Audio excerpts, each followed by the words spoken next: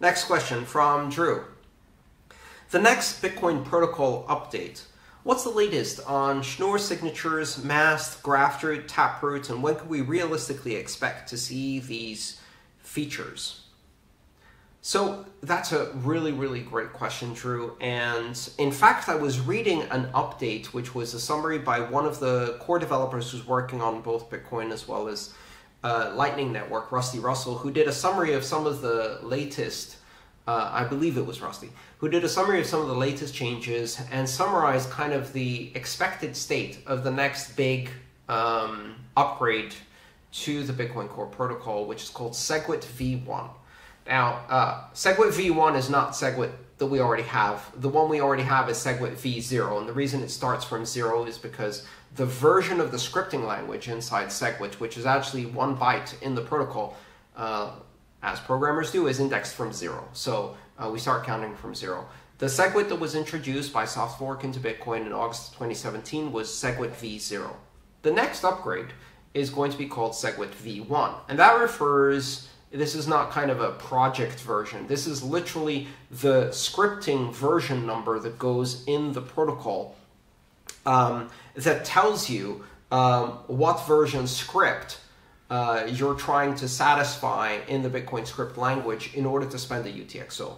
And with V1, which is going to be the next upgrade, this can happen by a soft fork. A number of things are being introduced simultaneously.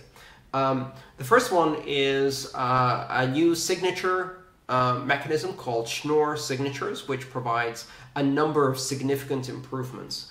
Um, a, a, change in the signature format that reduces it um, from, I believe it's 73 bytes at the moment down to 64 or something like that, or 68. Um, uh, a new version, which is Schnorr, which allows signature aggregation, smaller signatures, and a number of other really interesting features that come in later. Taproot, which is a privacy enhancement that allows you to have um, a number of complex scripts all present the same as a single public key payment. Uh, which is a great privacy enhancement because it means that if you're using complex script, whether Lightning, multi-signature scripts, time lock scripts, or uh, various other privacy enhancing scripts, perhaps confidential transactions and things like that, uh, then no one can really distinguish that UTXO from a UTXO that's simply a payment to a public key. Uh, and that really enhances privacy because you can use privacy without sticking out like a sore thumb.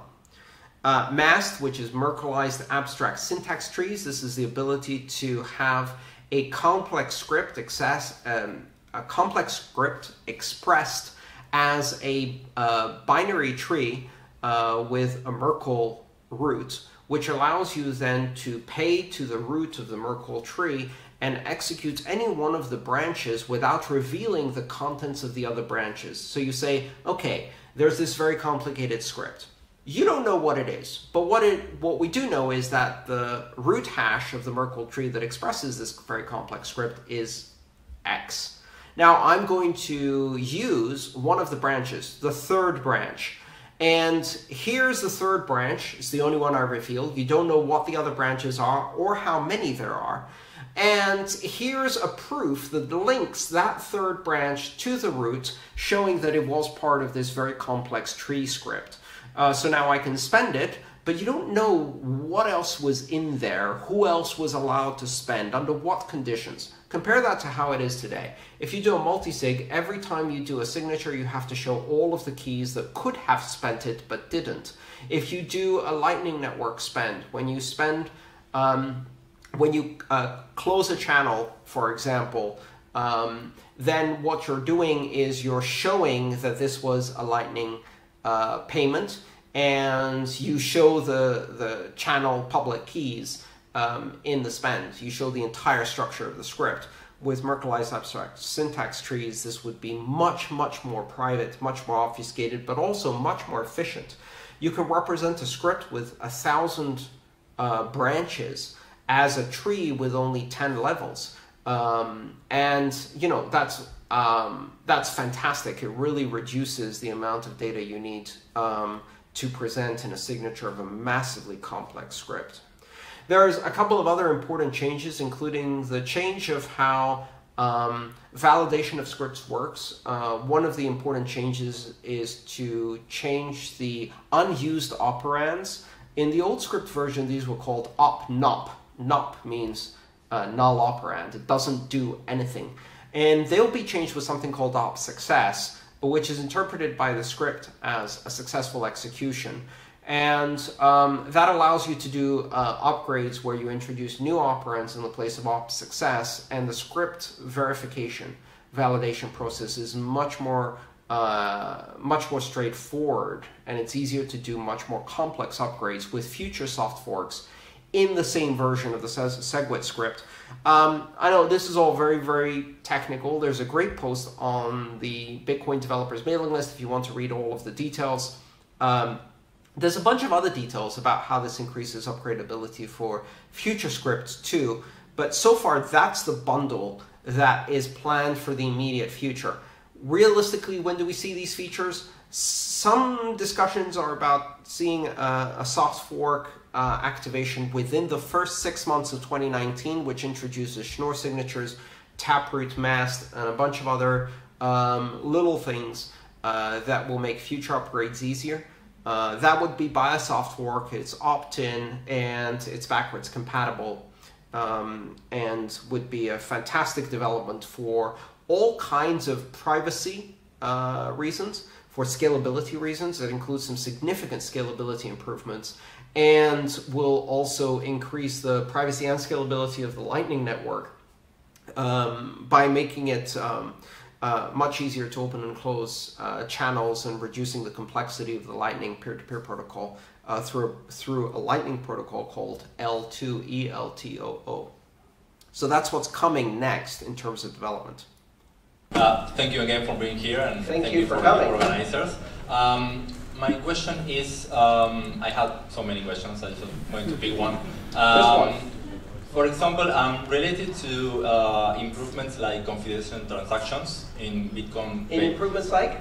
Confidential transactions. Confidential in, transactions, in yes. What is your take on that um, regarding privacy and fungibility? And also, given that uh, these kind of changes can be controversial, do you think that uh, this kind of uh, technology enhancement um, had, have to consider the adoption or the detrimental in adoption?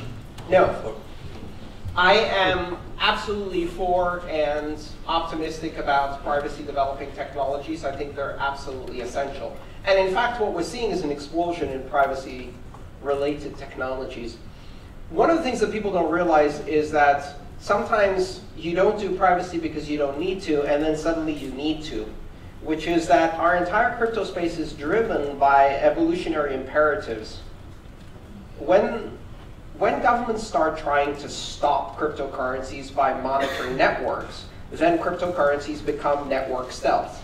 When they start trying to confiscate cryptocurrencies by monitoring identities, then cryptocurrencies develop confidential transactions, et cetera, et cetera. A lot of this is going to happen in response to crackdowns, to pushback. We're going to see development of this technology. Bitcoin itself, which is the granddaddy of the cryptocurrencies, wasn't the first.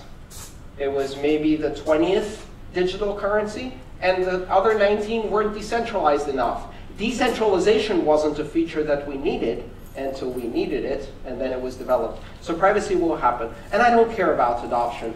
You know, one of the interesting things about the way forks play out nowadays is I think of forks now as the multiverse of development.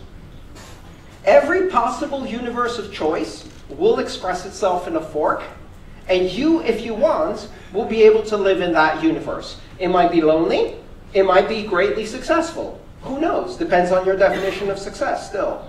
So how free we are now. We can explore all possibilities. Everybody gets their own crypto. And some of them are going to be screaming, you're not the real X, and you're a shitcoin, and just ignore that too. Because it doesn't matter. In the end, we get to explore all technological avenues. And what an amazing environment in which we can experiment. Let's hope we don't stop experimenting. I am much more afraid of stagnation than I am of reckless experimentation where 99% of the experiments fail. Edison once said, you failed to make a light bulb 9,000 times. Why do you continue? And he said, because I've discovered 9,000 ways you can't make a light bulb. Just keep trying. And so maybe we'll discover 9,000 ways you can't make a crypto, right? We're trying 1,200 at the moment. That's a pretty good run, good experiment. Considering human is a lazy creature, in the hypothetical case that somewhere in the future crypto becomes mainstream, do you think people will sacrifice user experience in order to have privacy and anonymity?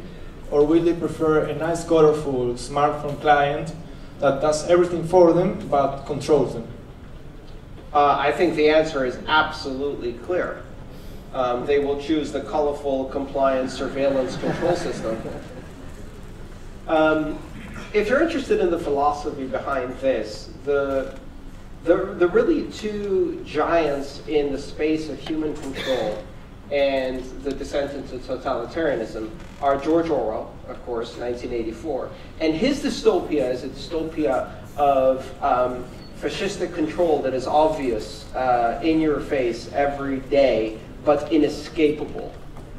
And I think he was wrong. Because what we're living now is another future, and that's the future of Aldous Huxley. And you have to read Aldous Huxley to understand where we got. And his idea was that the totalitarian fascism would come wrapped in a sugar-coated, uh, beautiful experience where you would be nulled and dulled into compliance through entertainment, through uh, addiction, and through stimulation. And if that doesn't describe modern social media, I don't know what it does, right? So people will choose that that is the future we're trying to avoid or at least disrupt. Here's the thing. Freedom doesn't need to go mainstream for it to give people freedom. Meaning that if 80% of the people choose the candy-colored interface of Facebook Coin that has full surveillance and controls their lives and gives them little stimulation through dopamine every time they use it, that's okay, as long as some of us have the ability, as Rodolfo said, to opt out and use the other system. So is there a door that allows you to exit that? Because some people will need to exit, and when they need to exit, they will find that door. They will work very, very hard to find that door, right? So laziness is the luxury you have when they're not shooting at you right? La laziness is something that is a luxury in an environment where you're not starving, where you're not freezing, where you're not killing your family, where you're not in a totalitarian disaster. No one in Venezuela is lazy, right? It's impossible to do that. So the more comfortable a society is, the more uh, lulled into um, subservience it is, the more lazy people will be with their choices of of freedom and privacy at least. But can we keep a door open? Can we have an alternative choice that those of us who see or want to see can go there and then guide others to that exit so that we can find some freedom and we can't. Because at the same time that today we live on the internet of Facebook, we live on an internet that is a giant surveillance machine full of happy images that pollute your brain and make you believe the biggest lie that mankind has ever invented, which that other people have happy, uncomplicated lives all the time. And if you believe that, you will be very miserable for the rest of your life. it's all fake. That drug of all these other people seem so successful, I must be doing something wrong. That drug exists. That is the world we live in.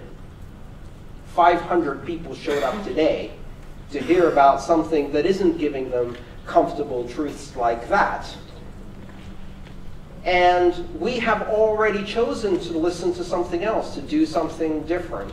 The same internet that is the surveillance hell of Facebook and dopamine injection is the internet of the dark net, is the internet of Tor, is the internet of whistleblowers and truth archives, is the internet where Bitcoin was born, is the internet where 1,200 cryptos are operating today unstoppable, uncensorable, and disrupting the most powerful governments in the world. Those are the same place.